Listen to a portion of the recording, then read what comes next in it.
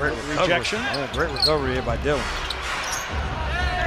Jaren will try for three. It's through.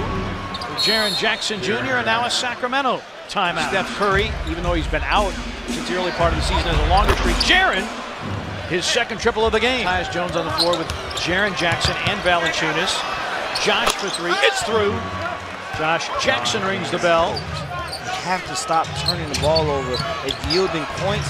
It's also taking away shot opportunities. Tyus Jones will earn a trip to the free throw line. Grizzlies averaging 15 and a half turnovers in the first two games against Sacramento. Jersey thing. That might be a down south thing. Okay.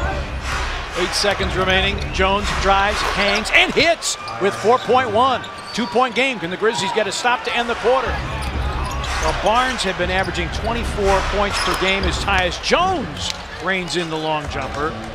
Barnes was averaging 24 a game and then was shut down in Dallas in this building. Jones floats it up and in. Tyus Jones with nine. Ty, he just continues. He competes at a high level to help his team. Nice lob thrown here to Brandon Clarke. Tyus Jones' fourth assist. Lakers tomorrow night, Clippers Monday night. Jaren for three, puts it in. Jaren's third triple of the game in the third.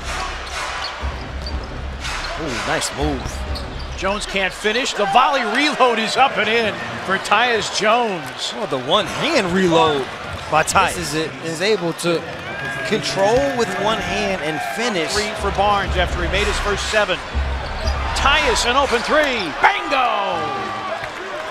Grizzlies needed that big make. Nice performance. He just seems to get more and more comfortable every single game. Melton for three. Bango! That is two great cross-court passes. Don't take the timeout. Tyus Jones got all the way to the rim.